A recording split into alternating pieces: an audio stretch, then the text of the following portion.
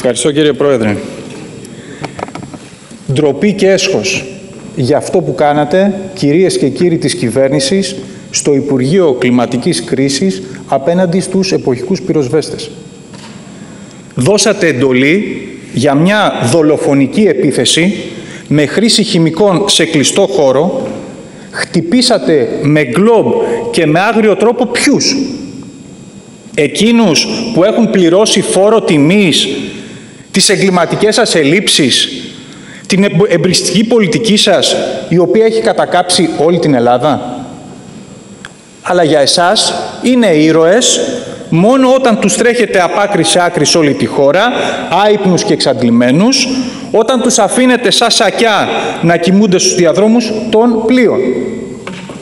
Στη φιέστα που κάνατε στη Θεσσαλονίκη πριν από λίγες μέρες, που περίσεψαν οι φωτογραφίες και οι χειραψίες του Πρωθυπουργού με τις πυροσβέστες, δήλωνε ο Πρωθυπουργός. Βρισκόμαστε εδώ για να σας πω προσωπικά ένα μεγάλο ευχαριστώ για τις μάχες που δώσατε στο πεδίο έως σήμερα. Να ποιο είναι το ευχαριστώ σας; Αυτό είναι. Τώρα τους πετάτε ξανά σαν σακιά.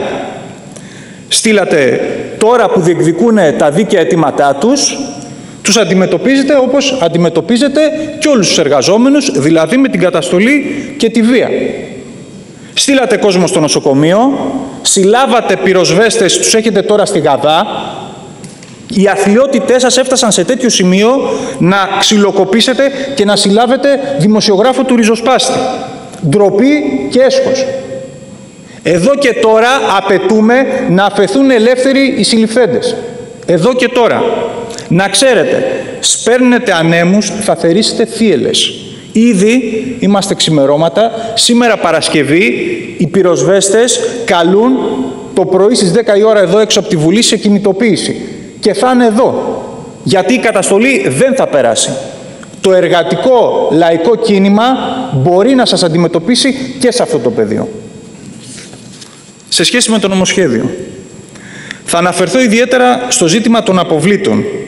Και αυτό μιας και προέρχομαι από μια περιοχή, τον Βόλο, που αυτά που συζητάμε σήμερα, αυτά που νομοθετείτε, που έχουν νομοθετήσει οι προηγούμενες κυβερνήσεις για τα απορρίμματα, έχουν άμεσες εγκληματικές συνέπειες στη ζωή και την υγεία χιλιάδων και χιλιάδων κατοίκων.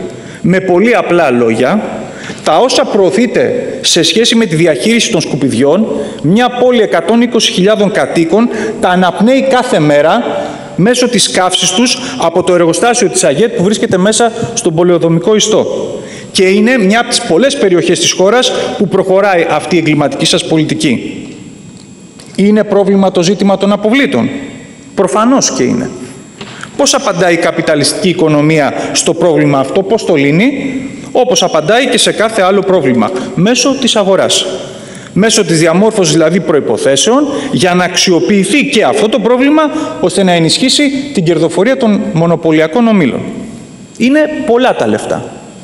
Η λεγόμενη αγορά αποβλήτων με τέτοιους όρους και αυτή την ορολογία χρησιμοποιείται και εδώ, όπως το κάνετε στην υγεία, στην παιδεία, σε κάθε πτυχή της κοινωνικής ζωής. Η αγορά λοιπόν αποβλήτων αποτιμάται σε περίπου 200 δισεκατομμύρια ευρώ σε επίπεδο Ευρωπαϊκής Ένωσης. Είναι λοιπόν πολλά τα λεφτά.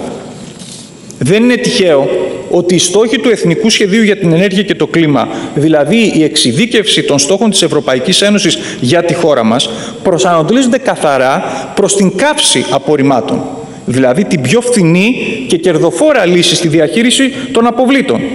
Τι και αν αυτό οδηγεί στο να θυσιάζεται για παράδειγμα μια ολόκληρη πόλη για τα κέρδη των ομίλων μετατρέποντάς τη σε θάλαμο επικίνδυνων αερίων από τεφροτήρα σκουπιδιών με εισαγωγή μάλιστα αποβλήτων και από άλλες χώρες.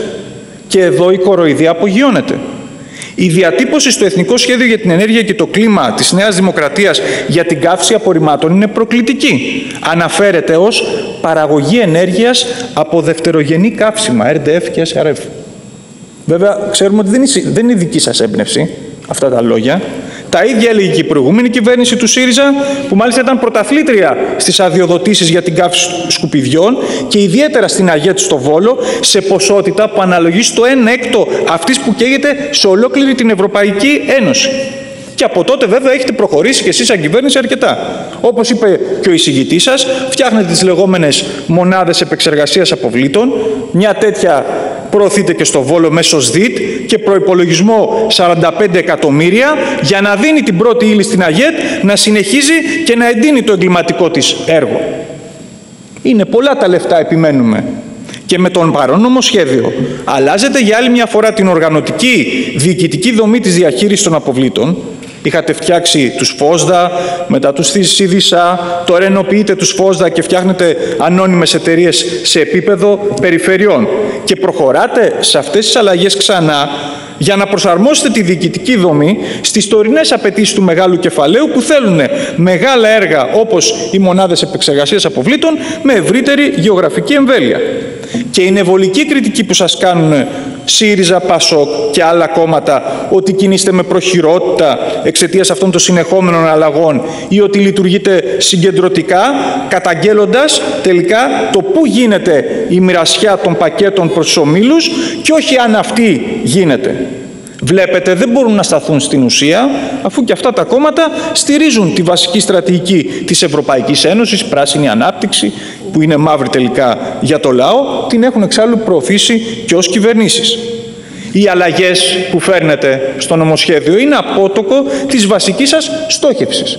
Γιατί η διαχείριση αποβλήτων δεν αποτελεί μέρος ενός σχεδιασμού που να καλύπτει τις λαϊκές ανάγκες, στο οποίο μπορεί στην πορεία να γίνονται και κάποιες διορθώσεις αλλαγές. Δεν μπορείτε να κάνετε ένα τέτοιο σχεδιασμό, ακριβώς γιατί στόχος σας δεν είναι η διαφύλαξη της δημόσιας υγείας και η προστασία του περιβάλλοντος στο θέμα της διαχείρισης αποβλήτων, αλλά η ικανοποίηση των μονοπωλιακών ομήλων στη μεγάλη αυτή μπίζνα.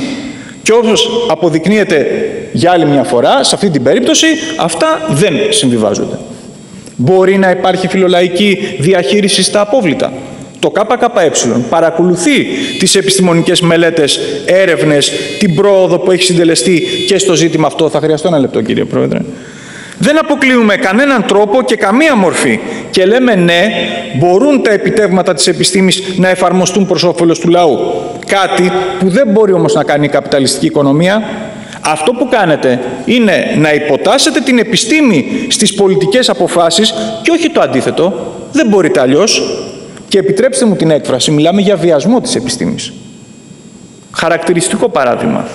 Σε μια νύχτα, με μια τέτοια πολιτική απόφαση, τετραπλασιάσατε το ανώτατο επιτρεπόμενο όριο του ολικού οργανικού άνθρακα στα καυσαέρια των τσιμεντοκλιβάνων από 10 μιλιγκράμμ ανακυβικό μέτρο σε 40 μιλιγκράμμ ανακυβικό μέτρο, του διοξίδιου, διοξιδίου του θείου από 50 μιλιγκράμμ ανακυβικό μέτρο σε 200 μιλιγκράμμ ανακυβικό μέτρο σημειώνεται ότι η ΑΓΕΤ εκπέμπει το λιγότερο 13 εκατομμύρια κυβικά μέτρα καυσαέρια την ημέρα. Αποκλείεται από τους ελέγχους τον εντοπισμό διοξινών. Και όλα αυτά γιατί; Για να μην ανεβάσετε το κόστος. Όχι επειδή έγινε ο ανθρώπινος οργανισμός πιο ανθεκτικός σε όλα αυτά τα επικίνδυνα χημικά στοιχεία που τα αναπνέουμε κάθε μέρα από την ΑΓΕΤ στο Βόλο. Αυτές είναι οι επενδύσεις της καπιταλιστικής οικονομίας, κυρίας Δούκου και προκαλούν κάτι παραπάνω από αλλεργία για το λαό. Προκαλούν κάτι πολύ χειρότερο από αλλεργία για τους εργαζόμενους και τα υπόλοιπα λαϊκά στρώματα. Κλείνω με αυτό κύριε Πρόεδρε, η εργατική τάξη μπορεί να επιβάλλει το δίκιο της και στο ζήτημα της υγείας του λαού, της προστασίας της ζωής, του σεβασμού του περιβάλλοντος, αναπτύσσοντας την παραγωγικότητα της εργασίας και βελτιώνοντας την παραγωγή χωρίς να τα φέρνει σε αντιπαράθεση. Η αξιοποίηση της τεχνολογίας και της επιστήμης με την παραπέρα ανάπτυξή τους προς όφελος του λαού και των αναγκών του μπορούν να γίνουν πράξη με την κατάργηση των μονοπωλίων, την κοινωνικοποίηση της οικονομίας, τον κεντρικό σχεδιασμό, την εργατική εξουσία. Η λύση που δίνετε εσείς μόνο βάσανα φέρνει στο λαό. Σας ευχαριστώ.